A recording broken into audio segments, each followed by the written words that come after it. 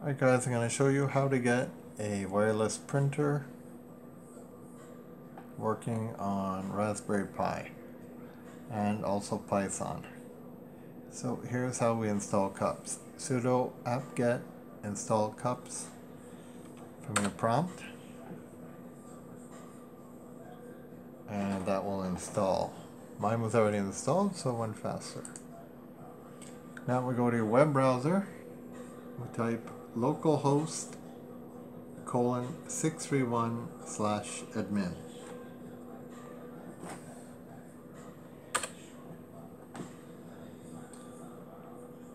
Now we have the choice to add printers. Manage printer. Here's my printer. I already found it. So once that's done, we're going to install cups into Python. So I'll zoom in in a minute here. sudo apt get install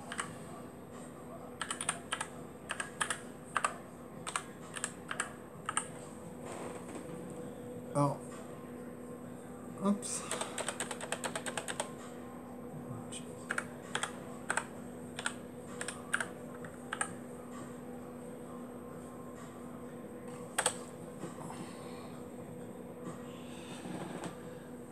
There we go. So now Cups is installed. Now from any of your apps in Raspberry, you'll be able to print if everything went well. So now in Python, here's a program. We're going to import cups. Con equals cups dot connection. We're going to say printers is this. We run a little loop to find our name of our printer. Now when we want to open a file, we use Python to open a file. Here I'm writing some line feeds to the file. So now I'm just writing to my file. File write, here's line 1, 2, close the file. That's file 1. So to print it, it's con print file, the name of your printer, file, which is right here.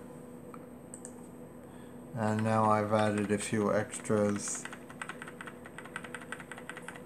The curly braces give me the options. So I'm asking for page left, 20 characters per inch. Oops, lost it.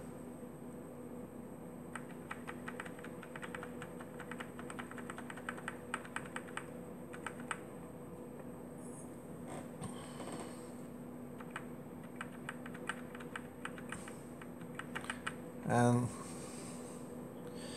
lines branch. So those are my settings for that.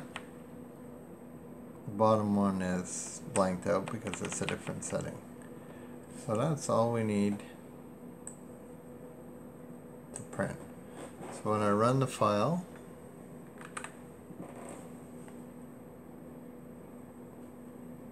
I'll show you here. We're going to see that it found the name of my printer.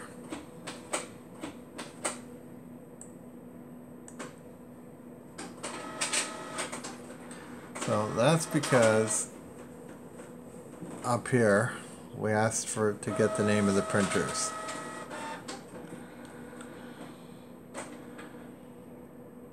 So then I use the name that I found, the Canon MX490 series, and I use that on the print file command.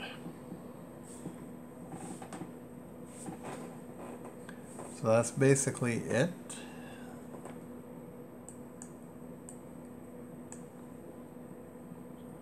Show the file again. You have to import your cups. Con equals cups dot connection. Here you get your printers. You don't have to do this each time. Once you find out your printer name, you can you can scrap this section. Here we use Python to open a text file. We're making a file. We opened up a text file. We wrote to it with some line feeds at the end.